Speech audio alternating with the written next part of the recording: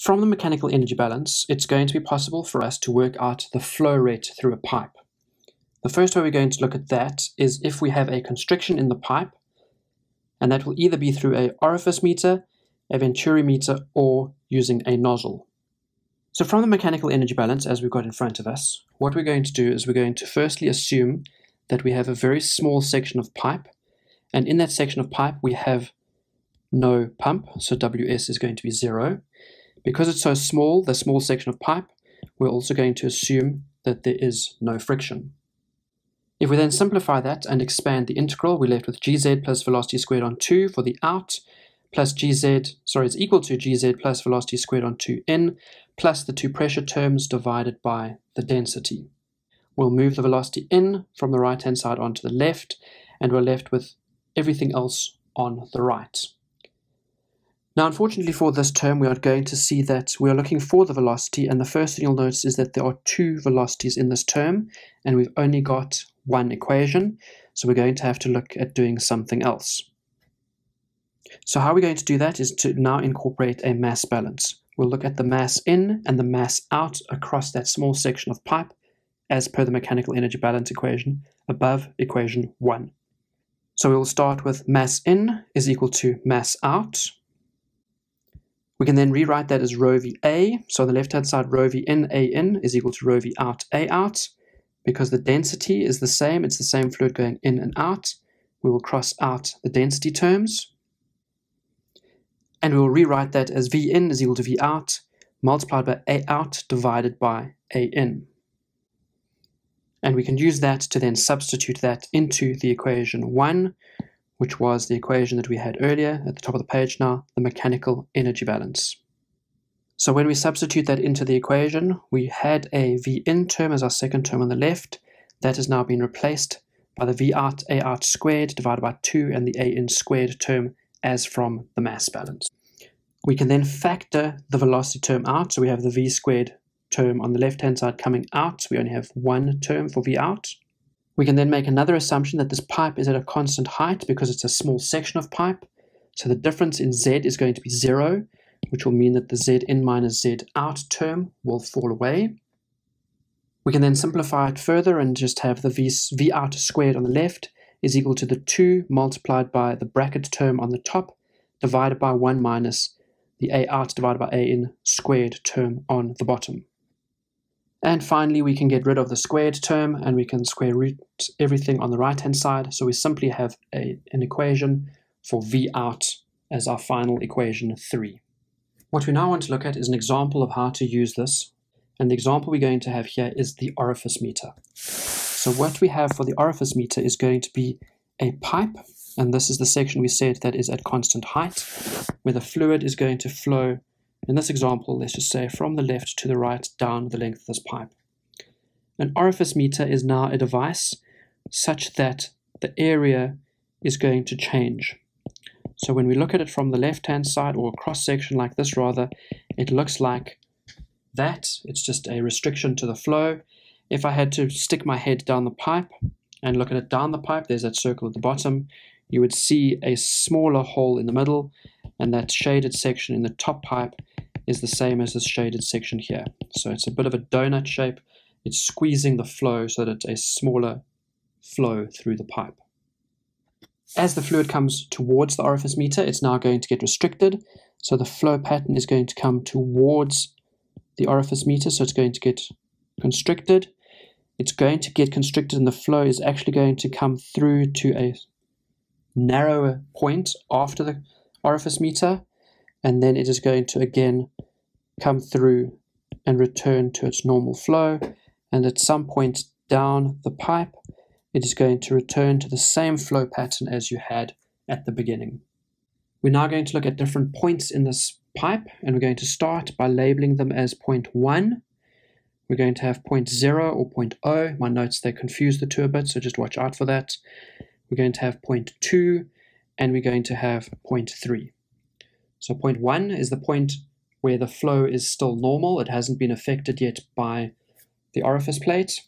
Point O is the orifice plate.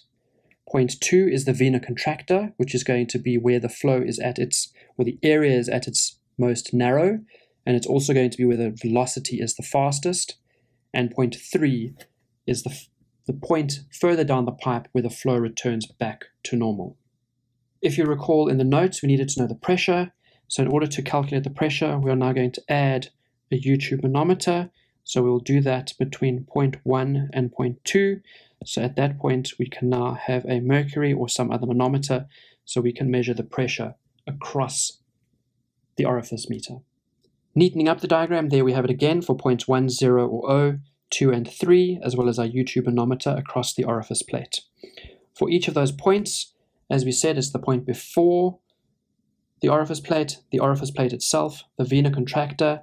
It's a point after the orifice plate where the pressure and density equal the original pressure. And just as a rule of thumb, just to note, in order for this to work, orifice plates generally work best if they are 50 times the diameter. So, sorry, the orifice plate is 50 times the diameter away from any other fitting. So that would be a bend, a valve, or anything else. And in general, the pipe should be at least 150 millimeters in diameter to allow for turbulent flow conditions, which is, which, which is what we need for the orifice plate. So if we now return to the equation we had earlier, we had the velocity out being equal to a term which was the square root of 2 divided by density, pressure difference divided by 1 minus area out divided by area in squared. What we want to do is we want to replace the values for the pressure in and pressure out with P1 and P2 because those are the pressures that we are using for the orifice meter and we will uh, replace the out and the in for the areas in the same fashion so that we now have area 2 divided by area 1. From that equation, which we're calling equation 4, we can now define G, which is going to be the mass flow rate, and sometimes that's written as a m dot, which is equal to the density multiplied by velocity, which in our case is the velocity of interest, v2, multiplied by area 2. And we will take that and substitute it into equation 4, so that we now have an equation G or m dot, the mass flow rate, is equal to a density times area 2 multiplied by the square root of the same thing that we had before in equation 4, and that we will call equation 5. What we now need to look at is what exactly is this area 2? So area 2 we said was the diameter, or it's going to be the area rather, of the vena contracta. But unfortunately, the diameter of this vena contracta is not easily, easily measured. So therefore, what we're going to do is define a coefficient of contraction. CC, so the coefficient of contraction, which is going to be equal to area 2 divided by area O, or naught, the orifice plate diameter, area rather. So what that means is we can rearrange that to have area 2 is equal to the coefficient of contraction multiplied by area O. We can then substitute that into equation 5. So we now have an equation where we have the coefficient of contraction multiplied by area O, or the area of the orifice meter, instead of area 2. And now hopefully we will be able to measure that area because that's an orifice plate or an orifice meter that we installed, so we will know the area of A naught. What you are going to find in some textbooks is that this equation is now rewritten such that it has alpha terms. So there's alpha 2, alpha 1 that come popping back into this equation here. So some of you may recall or you may have seen elsewhere that kinetic energy EK is equal to half mv squared and sometimes it's rewritten, or it's written rather, with an alpha in front of it or behind it. So the alpha is a 1 or an alpha is a 2, depending whether this is laminar or turbulent flow. So turbulent flow for the 1 and laminar flow for the 2. So I'm reintroducing these terms simply so that you can see what our next step is, or in case you see this in a textbook and wonder where these alphas come from. So then to take into account all those alphas and the CC term, we're now going to replace all of those terms with a single factor, and we're going to call this CD, which is going to be the coefficient of discharge. And as with many engineering terms, we're now going to obtain CD from a graph. So we're lucky enough that somebody else has calculated this for us, and we can go to this graph, which will be given in a test or an exam, or find in the notes, and we can use this to find the CD. So this CD value, or this chart rather, is giving us the value of CD against a Reynolds number on the x-axis, and it's going to give us the CD value up on the y-axis. Now to note on this, this is for a sharp-edged orifice, and it needs to have a diameter ratio where the orifice diameter divided by the inside diameter is going to give you some value, which we will then read off this graph here. So let's just say for argument's sake that we have a value of 0.75 for an example. So if we have the diameter ratios of that, we will now be looking at this curve here. You will need to work out your Reynolds number. So we said Reynolds was equal to rho VD on mu. So please calculate rho VD on mu. Whatever your value is, you'll then read up to the graph, you'll read to the left, and you'll find a CD value in this instance somewhere just above 0.8. However, we are now going to have a bit of a problem because if you've noticed, the Reynolds number that we need, and that is the Reynolds number through the orifice, please just remember that it's through the orifice, not the pipe. In order to get that, we are going to need the velocity. However, the whole aim of this exercise was to determine the mass flow rate through the pipe or through the orifice plate, and the mass flow rate will then give us the velocity. So if we don't have the mass flow rate, we're not going to be able to get the velocity in order to get the Reynolds number, which we need for the coefficient of discharge. In order to solve this, this is going to become an iterative problem. The first step that we are going to do is going to be to guess a value of CD.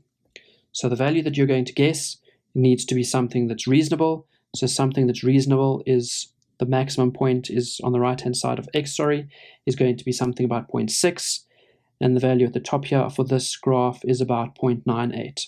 So any reasonable value between those, the arrow there, that is going to be our first guess for CD. So that is going to be step one. From that guess, we are now going to calculate the mass flow rate using that guessed CD. We can then calculate the mass flow rate, and from that we can then get a velocity. From that velocity, we can now calculate a Reynolds number, which we can then use on this graph, and we can work out what the actual Reynolds number is to work up back to the actual line that we're working with, and then to the left to determine the real CD value. With that new CD value, we are going to again calculate the mass flow rate because the CD value is probably different.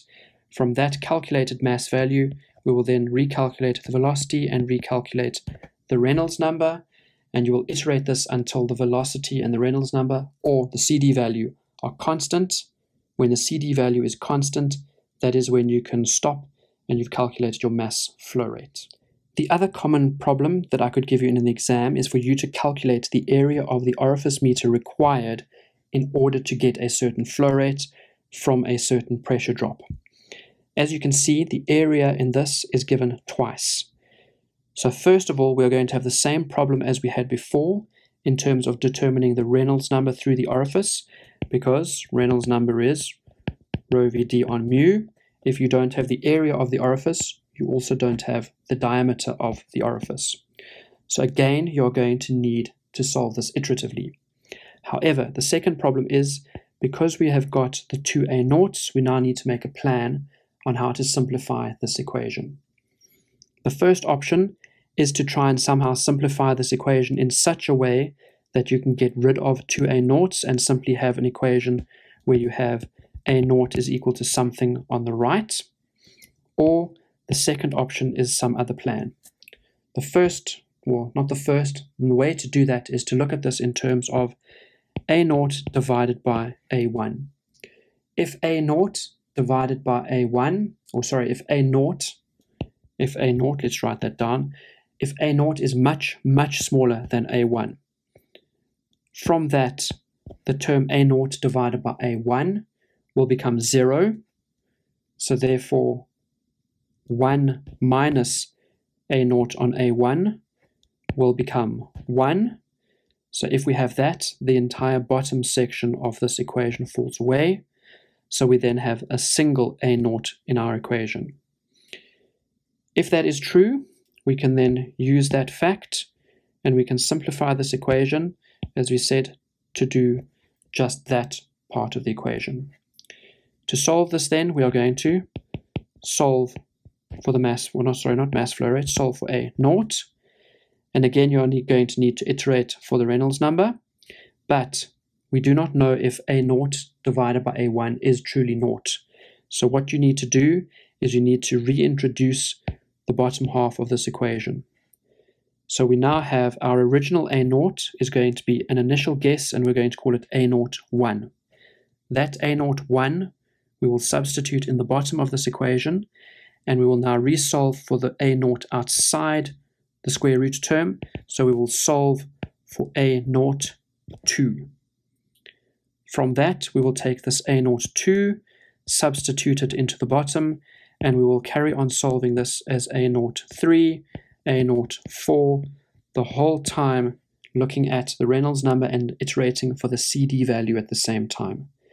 This technique here should be, you should remember this from the direct substitution that we did in the numerical method section. So it's the same approach as we are using here.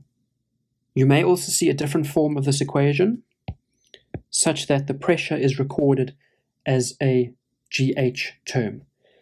So we remember that pressure or delta pressure was written as rho GH. So in this instance, we're not worried about the delta rho, it's just written as rho GH, which we can then take this delta pressure and substitute it into the equation for rho GH. You will then see that we now have a pressure in the pressure term, sorry, a density in the pressure term, and we have a density outside. Please remember that there are different densities. The one on the left-hand side, or the top at the moment, that is the density of the fluid. The density for the pressure is going to be the density of the manometer. There are some examples where there is only one density. For those, they assume that the densities are the same and that the density of the manometer is the same as the density of the fluid. What they have done there is they have taken the delta P equation and they've written delta P is equal to rho GH, and that is from the manometer fluid. And we're then saying that that is equal to some theoretical value for a density of the fluid multiplied by GH. The H's, however, are going to be different. So that's H of the manometer and an H of this fluid, if that were physically possible. So if you see this equation where there isn't an F or an M, there's just a single density, please make sure that you use the correct H term.